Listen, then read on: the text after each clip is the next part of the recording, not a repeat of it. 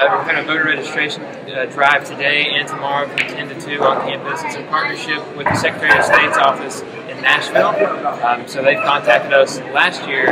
Um, so it's become an annual event that we started last year at Kirchhoff. Um, first event this year. The Secretary of State's actually going to be here today around noon to help us kick off things for the rest of the week, or tomorrow at least. Um, and it's all ran through the Capitol in Nashville. So students come in and register. Uh, as soon as they get done here tomorrow, we'll send all the stuff back to the Capitol building and they'll send it out to the county election commissions and you'll be ready to vote.